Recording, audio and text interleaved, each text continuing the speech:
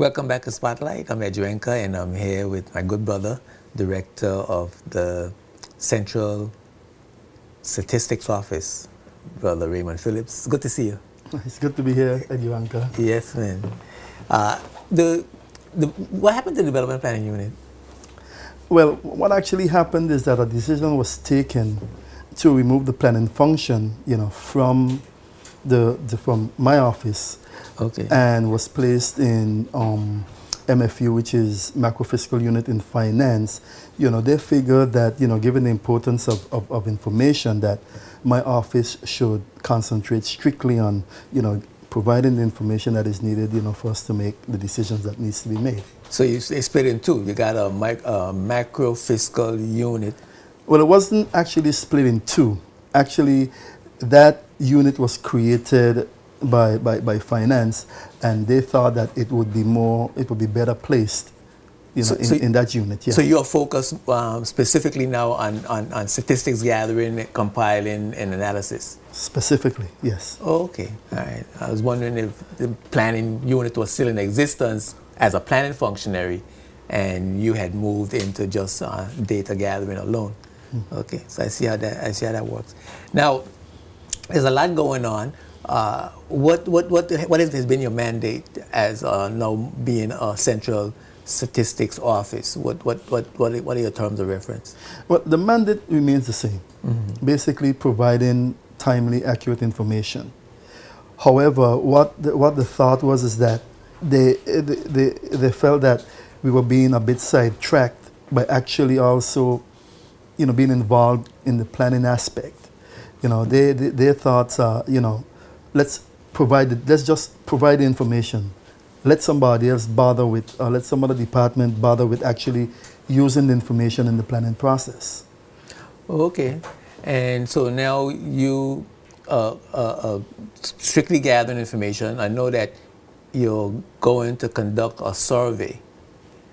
Uh, Yes. Talk to us about the, uh, the survey Yes. you're getting ready to conduct. As we speak, you know, we are getting prepared to, to conduct our first labor force survey. You know, we thought it very important at this juncture to do such a survey because, you know, since 2008 we have had an economic downturn, well, a global economic downturn, and it has, you know, in, in, a- in a sense, you know, kind of disrupted our, our, our, our um, very, very traditionally low unemployment rate. Because, I mean, as you know, there were quite a number of um, reports of persons losing their jobs and businesses closing down.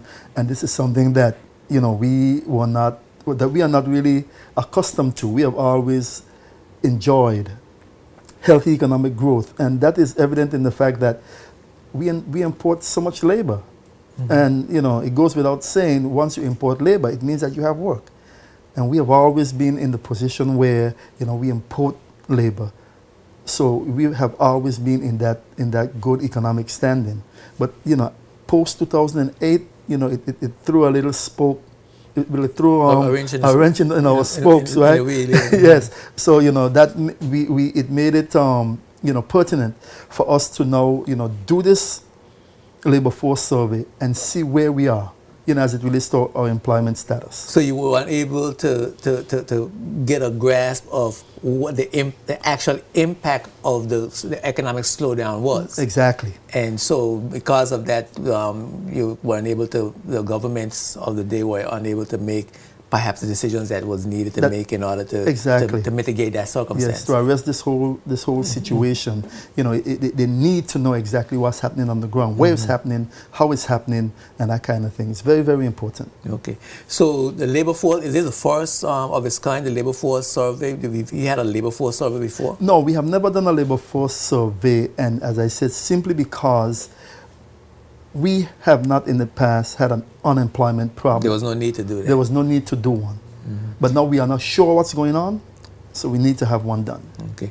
So this is going to begin when? When are you going to start the, on the survey? Well, as we speak, the training is now going on mm-hmm. for the persons that are going to go out into the field and do the interviews. And we expect to go into the field coming Monday, the 19th. Okay. And are you going around to each household? How is that? How is the survey going to be done? Well, what we have done, we have selected a sample. And this sample is done in proportions. So we're going to do a proportion of households in each district, right? So we have already drawn our sample. We expect to cover at least 700 households, which will be approximately around 7% of our total households in, in, in, in the country. You know, so we, we want to get a good representative sample, you know, to make sure that the results really speak to what the situation is on the ground. Okay. And, and what's going to be lo logistics for the information gathering? You're going to go around, you're going to have um, uh, persons uh, going around asking questions, and what, what, how, how, how should the public respond to you, and, and, and what can we expect during this survey process? Well, yes, we are going to have persons going from, from house to house. So, you know, we are just asking that the general public, you know, be understanding and, you know, be cooperative. I mean, there are a number of questions on there, but it's, it's an effort for us to, to, to see what's going on with each, with, with each individual household. Because, I mean, as you indicated, the whole idea is to, you know, if there are issues, address the issues. So we will have persons come into the houses, having face-to-face interviews. Um, you know, the questionnaire could take between 20 minutes to 30 minutes, you know, depending on how many persons are in the households. You know, some, somewhat similar to the census.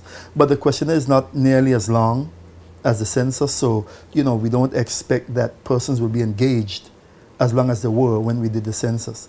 Um, you know, people, persons will, will, the questions are not sensitive questions, just easy questions to answer.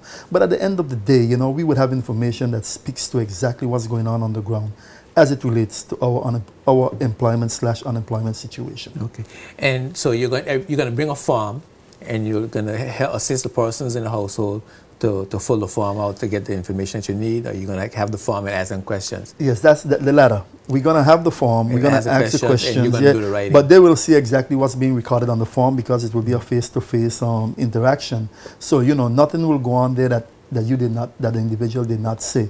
So, you know, okay. so they could be rest assured that, you know, what they say is what we'll capture.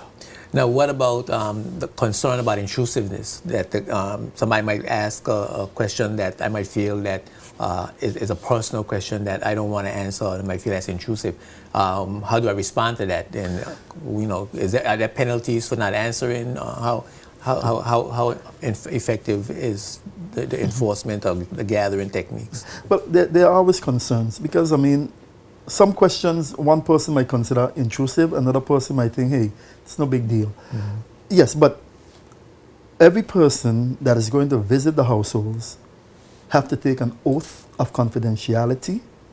So therefore, they are not supposed to divulge any mm-hmm. information that is collected. There are penalties. We have a statistical act of, that was um, done in 2005 that speaks to penalties you know, for persons um, divulging information collected out in the field. There are also penalties, you know, for persons who don't want to cooperate and comply with, you know, the, the enumerators when they come to, you know, the household to gather, gather the information. However, we would prefer not to have to refer to our statistical act, you know, because, you know, what we do is in an effort to better to make things better for everyone that lives in this country. Well, that's interesting. I think we ought to know what the penalties are. I mean, I never thought that there were any penalties. I just uh, asked the question knowing that we would need some sort of enforcement. But now that you mentioned that there may be penalties for not complying with the, the persons that come to ask the questions, you have to let us know what those penalties are. Well, the penalties are, but of course, um, a case would have to be made through the Attorney General's office. But if we do get to a a, a position where we have to, you know, enforce penalties on someone, the penalties I think about three months in prison. Hmm. I mean, I would hope it never a, gets to that. That's a considerable penalty. yes, but it, it works both ways. It's this. It's actually the penalties for, for persons who who are under my watch. If they divulge information, the penalty is double. So it's six months for them, six months three months for me if I don't comply. Exactly. Okay. So you know, we, I, we, we think it was it was it was it was best to make it that way because it just goes to show how how serious we take gathering your information.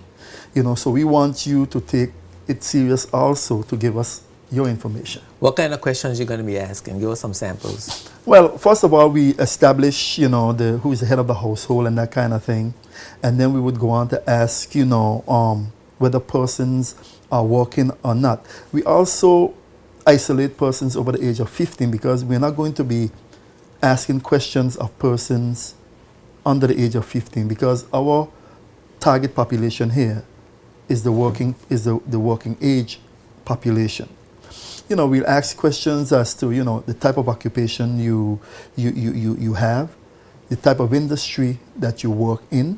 We'll be interested to know, um, you know, how many hours you work, how many months you work.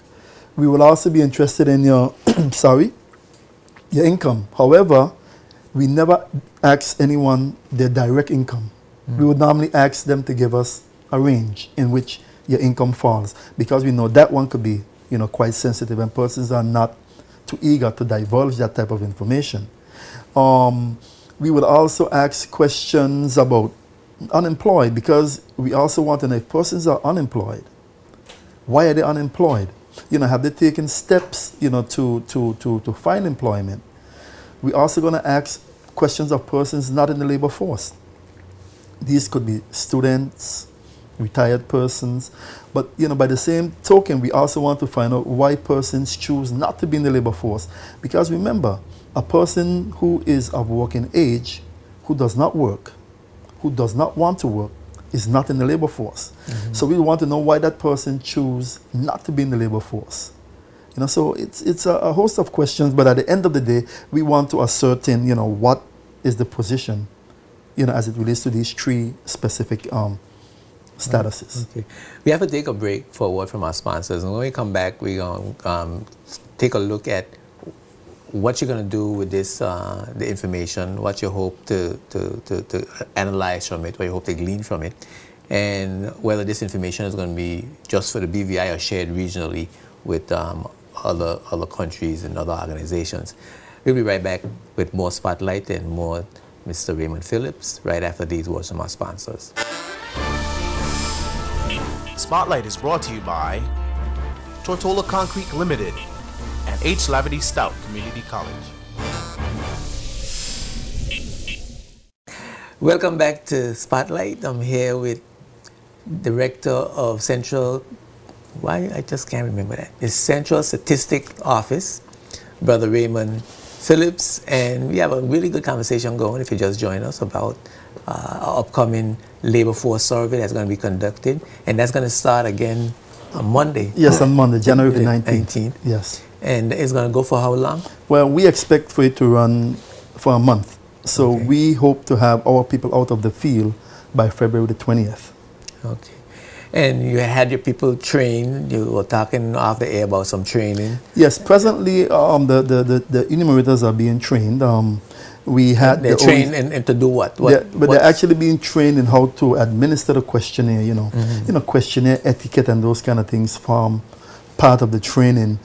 You know, we also they also go through the questions. You know, what answers to expect, and you know, in the event you know persons are being a little bit difficult, how to you know reassure them that the information that they're given, you know, is, is um is necessary information, and of course it's confidential information. So those are the kind of things that they, that they try to impress upon them, you know, and also you know teach them basically, you know, how to how to conduct yourself, you know, when you're when you're actually conducting the interviews, you know, make the the interviewee comfortable, mm-hmm. you know, make them feel as if you know, giving the, the information is not a problem, you know. So you know, it's, it's, it's all in an effort to get maximum maximum res response. Uh, participation. Participation, yes, yes.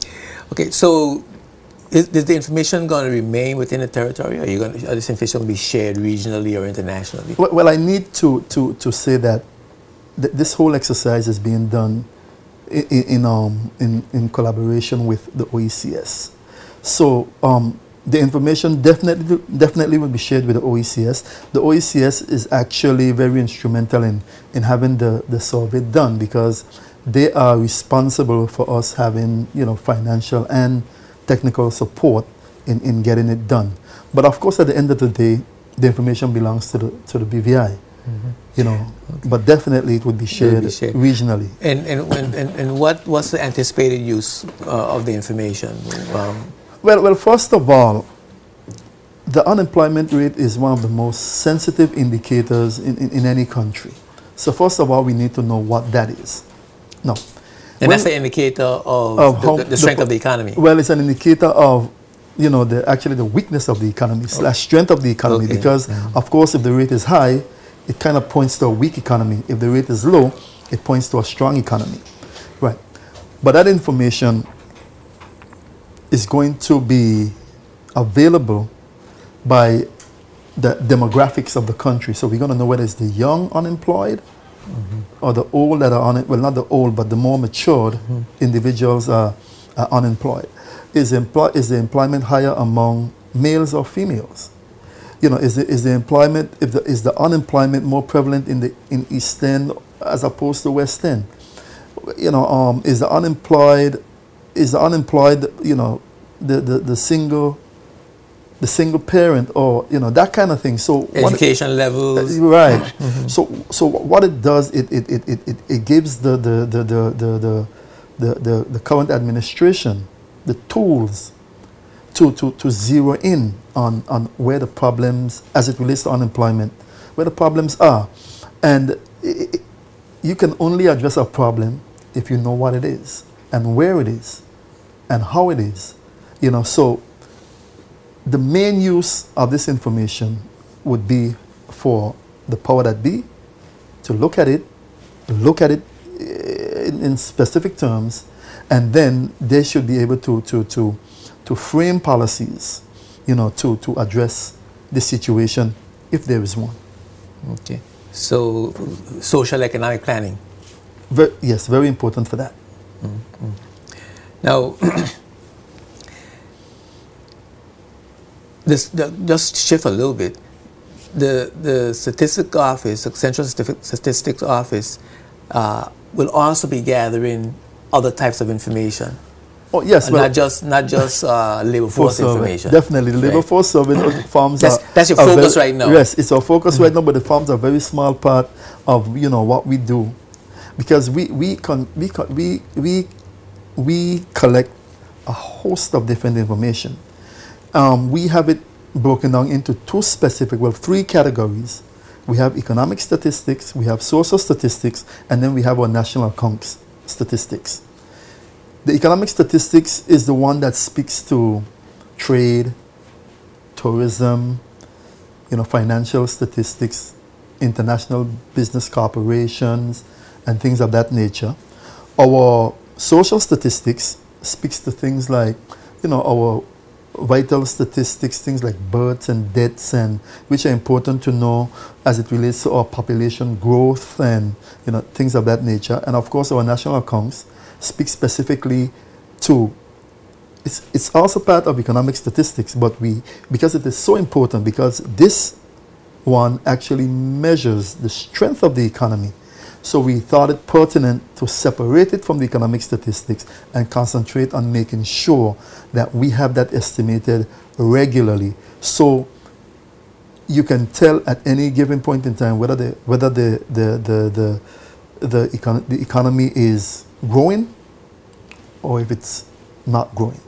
Mm. That's the specific function of that statistics. Okay, and how uh, up to date uh, these statistics are going to be uh, the, the, real time because you know uh, a lot of instances you're, you're asked for, for data uh, it's a year or two behind uh, how how uh, up to date we gonna, this, the, the information is going to be well the, the, it, it, varies from from statistics to statistics eh?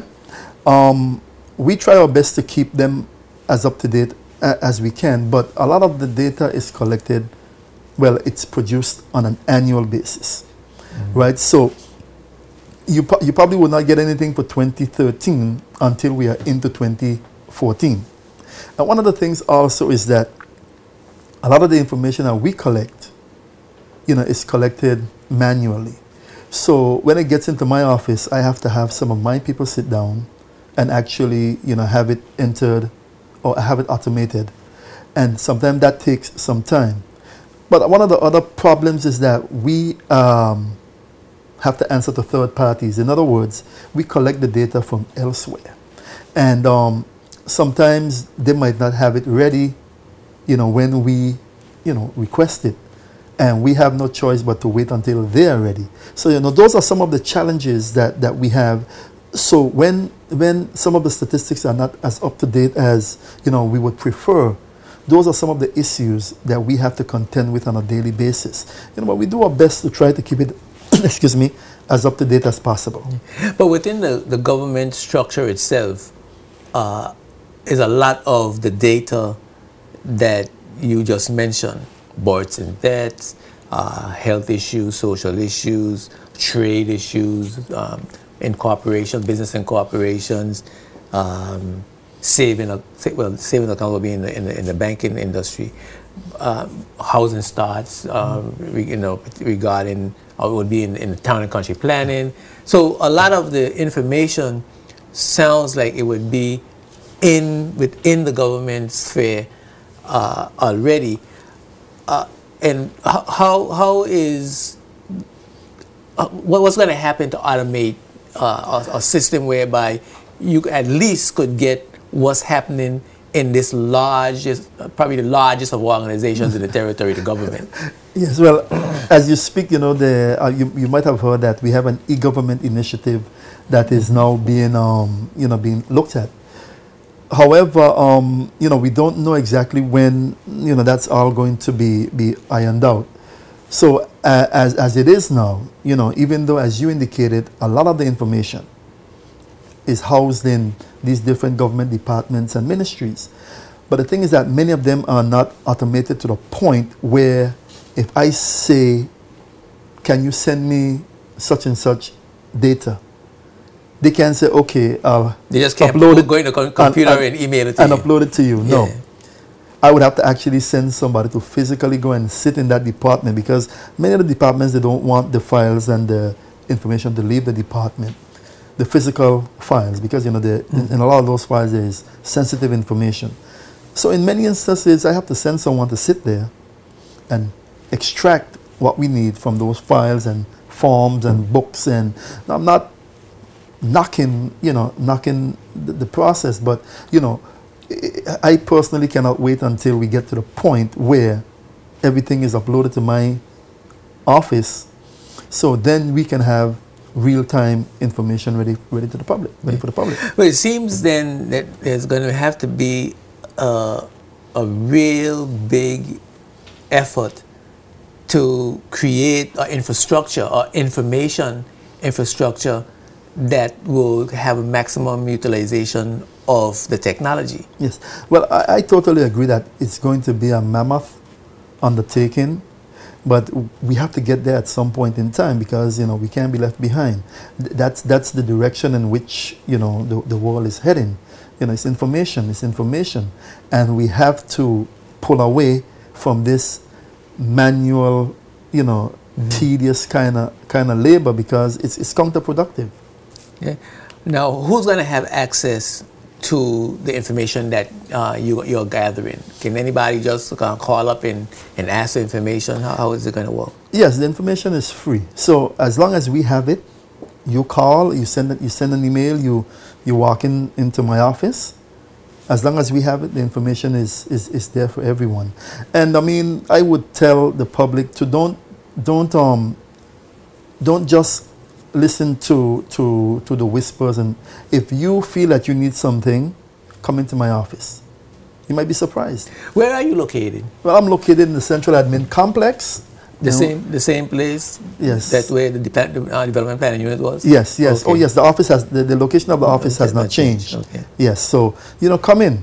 You might and be surprised. The, the, the, east, the east wing. The east wing of the Central Admin Complex. Complex. Yeah. Once you come in and you what ask floor for is there? CSO on the on the second floor, the third floor, actually, the ground the third well, floor. Mm. Well, yes, on the third floor. So, you know, come in and see us. I mean, you might be surprised because we have a lot of information. I mean, as, as you indicated earlier, it might be that we might not be able to give you the last year, but we might be able to give you enough for you to, whatever it is research you're doing, you know, to, to make a well-informed decision. Okay, great.